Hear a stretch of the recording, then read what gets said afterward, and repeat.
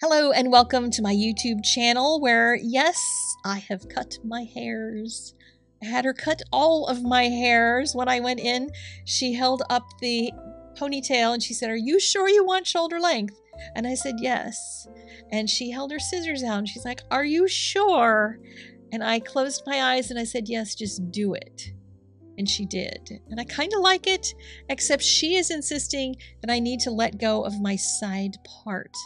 I loved my side part, but we're going to see how long this lasts before I turn it into a side part. Anyway, this is an art channel, so we are going to get to the art now, shall we? I want to share with you some projects that I have made with pigment pens. These are a particular type of marker that are new to me. A month, two months ago, little little while ago, I was sent a set of 12 colors in these pigment pens and hired by the company Staedtler to create a tutorial for them that they could use at a paint and sip type event.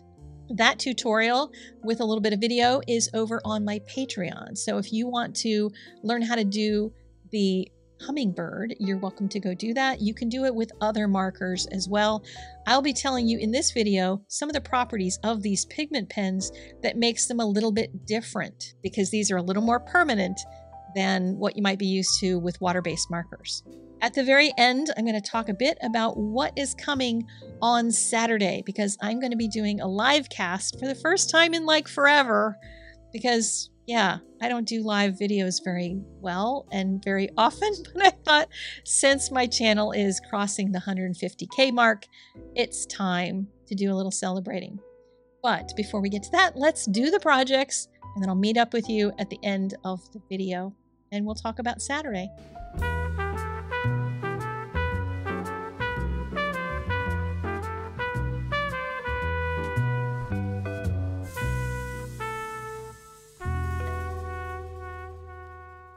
So I'm going to try three styles with these pens. Like I just wanted to see how I could push them.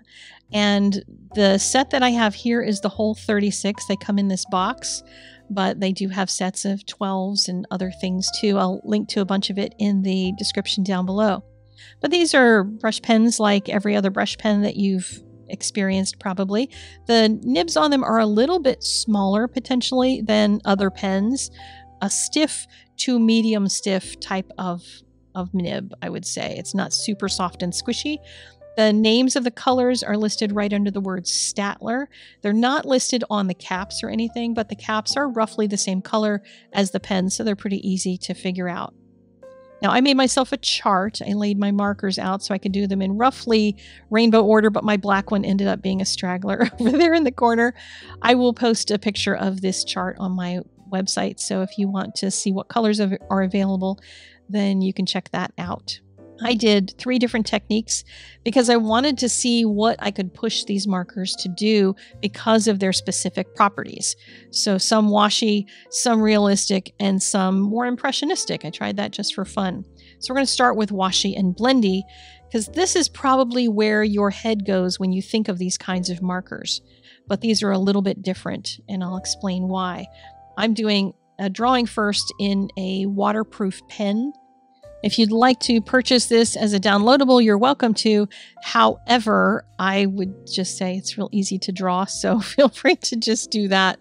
But I'm going to put some color in half of one of the leaves and then use some water and then I'll rinse my brush. So I'm using clean water to drag lighter color and then rinse it again to get even lighter color to just keep going down the entire leaf to get a blend. Now you might think, well, Sandy, that's not rocket science. I've done that before with all of my water-based markers. What's different here? Well, what's different is when these dry, they're going to dry permanent and they're going to dry quickly in many cases, depending on the surface of the paper that you're using. They might last a little bit longer, and I'll show you one in a few minutes. But on watercolor paper, these dry fairly quickly, and you need to just do the water right away. You don't want that to just sit there. So, it there are things that you can use that to your benefit for, but if you're using it like this with water, you're just going to want to be strategic and make sure that you get all the water movement when the ink is wet, when that pigment ink from the pens is still movable. when I'm working on something like these little berries, I found I could do a whole bunch of them at once and then just get the brush out and water them all out, and it worked just great. But for the leaves, I tried to do them each a half a leaf at a time. Now, the tutorial that I did for Staedtler is over on my Patreon, and it's for this hummingbird. This was done on canvas, one of those little pre prepared canvases. And the ink on these remained mostly water soluble a little bit longer than on the paper. So, you know, experiment with different papers, different surfaces that you have. Now, impressionistic. This is where I really wanted to exploit what these pens can do that others might not. And I found this great photo. It's fall season, so it might be inspirational to you as well as it was to me. And I wanted to recreate this, but in a more impressionistic style. So, what I'm doing is just creating first for the yellow, just some underlying shapes, because what I can do with these is put color over top of them, and the yellow, once it's dry, is not going to move. Remember, I said it's going to be permanent.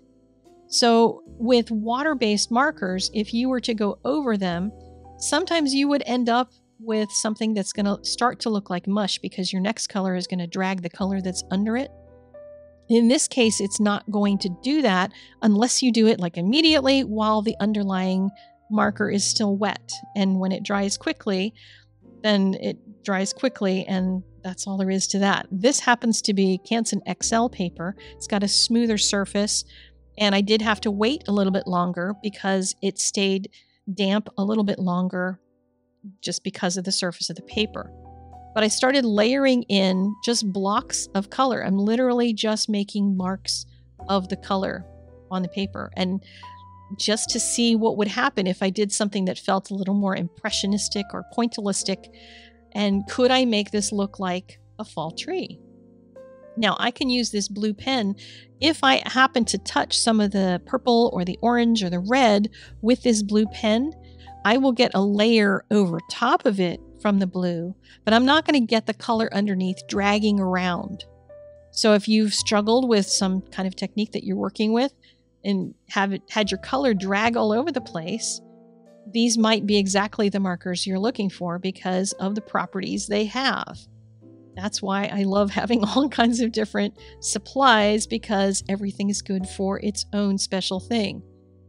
You could try this with water based markers, but just know that you're going to be constantly cleaning off your marker a little bit if you're dragging color around into different areas.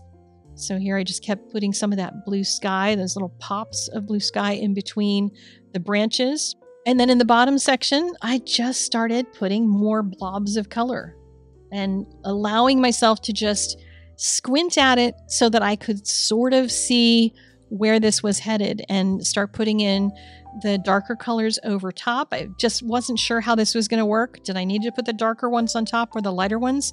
But I figured probably the darker on top since everything's going to layer on top of everything. And then when it came to putting the branches in, I was using the blue and the purple markers instead of even the black so that I could keep the kind of light craziness of the color. I debated whether or not to make those branches into the pointillist dots as well. And that might be something that would be interesting. But I also liked the fact that it was nice, strong lines with all of this delicate little blobs of color flying around it. I just thought it looked really cool.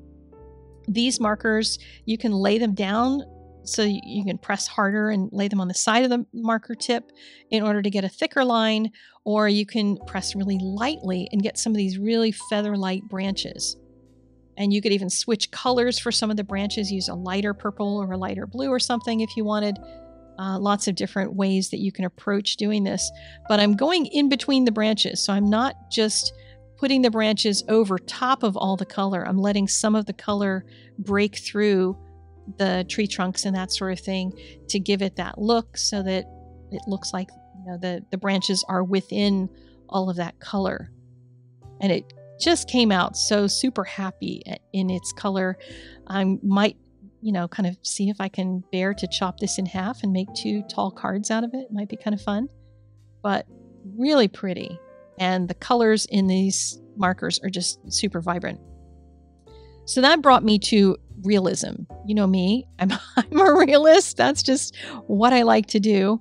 So I decided I would try these markers on some watercolor paper as a real drawing, like a realistic drawing. And I found this beautiful photo by somebody named Lydia May over at Paint My Photo, my favorite place to go get pictures. And I just started putting color in.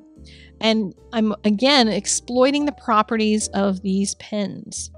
That if I want to have a really soft area in between them, then instead of trying to do it while it's wet, I'm going to put a color that's going to work in between them. So when I want to blend an orange and a yellow, I might actually put a yellow ochre in between them as a blending color. And just started kind of playing around with it, layering colors heavy in here because I have a lot of contrast in the photo. And I wanted to see how that was going to actually work out.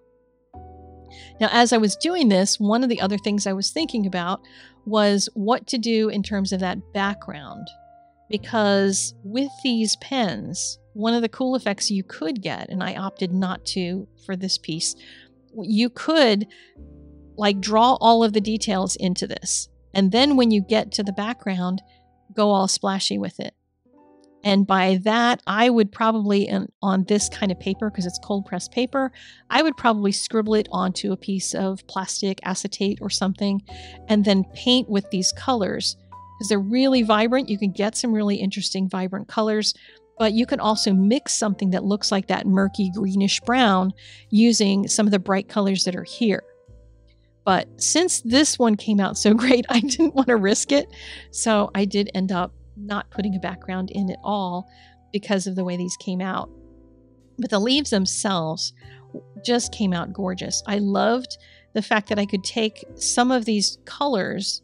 You know, there's not all that many in the neutral colors here, but I could take some of the neutral brown colors and find one of the places where there's a spot on a leaf and just scribble over top of it. And even though the color underneath of it wasn't wet, it just seemed to eh, you know it it liked the treatment of the paper underneath. It liked working on top of other layers of ink or color or whatever's in these pens.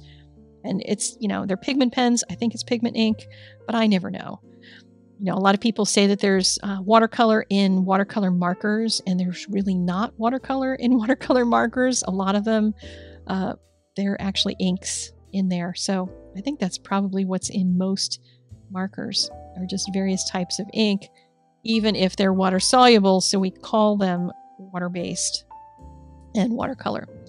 So as I'm finishing up these leaves in here, I was playing around with the darkness and you know that just the values for the leaves that were in between these bittersweets.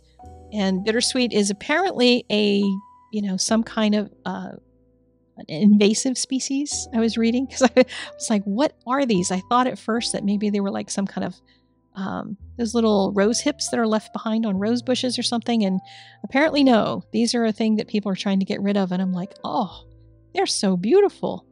Even though they're all kind of like wrinkly and shrivelly, they feel very much like fall because of that in my mind. And trying to create the highlights on these bittersweets, I'm using, you know, I started by just drawing in the lightest pinks and then a darker pink around it, and then going in with more of a, a red red, a true red around it, and then adding shadows on top of that. So that gave me some build up to those really light colors in the highlight, but I am not using water, as you can see. I'm just drawing with these pens and letting the colors, the transition in the colors work instead of trying to get them to be blendy blendy.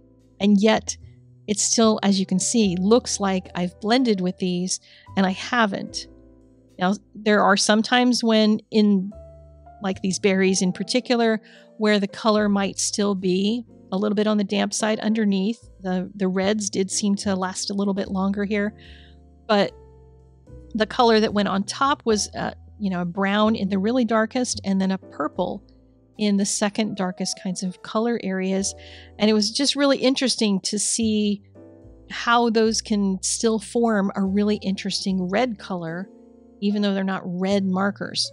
Because you can see from the range there, there's not a huge range. I mean, it's only 36 colors, but you'd be surprised at how much you can do with a small range of colors when you know enough color theory to be dangerous, which is what I love to teach. So if you want to you want to learn how to be dangerous with it, then pop on over to my teaching site because I've got a lot of classes in a lot of different mediums where you can learn color theory.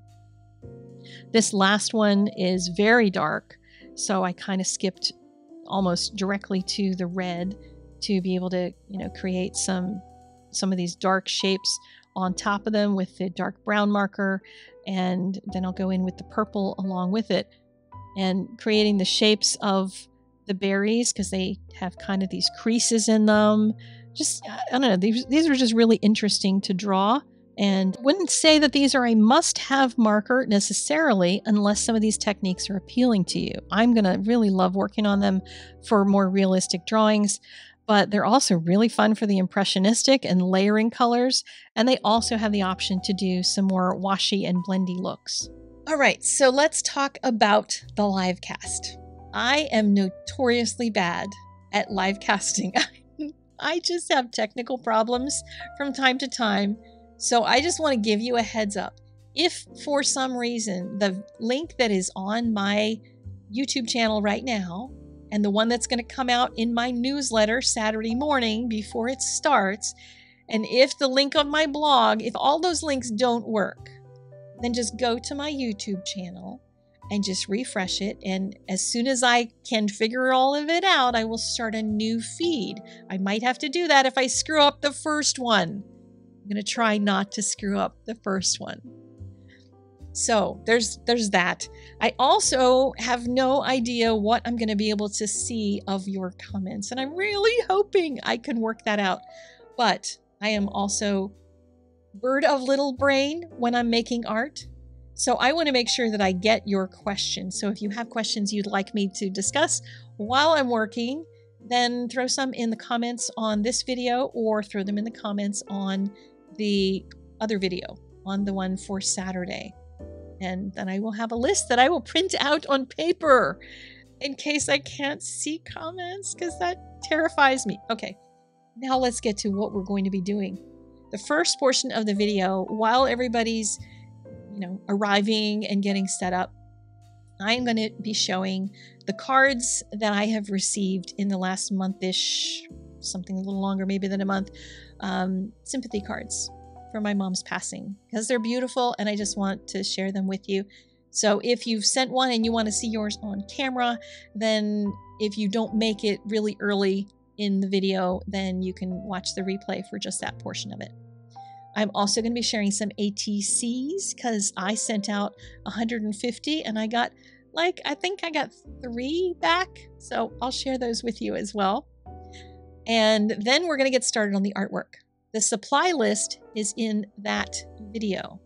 I'm linking to that video in this video, but it's over on my channel as the place where hopefully the live stream is going to happen.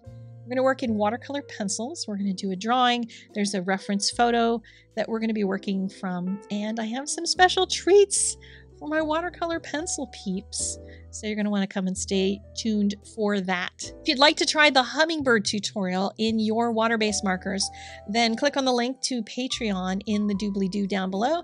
Any patron from a dollar and up has access to that one. And if you would like to join my Patreon as a $10 and up patron, then you get the monthly real-time watercolors I will link to Patreon and to the video for Saturday that has the supply list in it, as well as the supplies used today in this video. And I'm going to stop talking so you can go get back to your day. And I'll see you again next time when we're going to be live. Please tap that like button before you go. It means the world to the channel. And get out there and create something every day. Bye.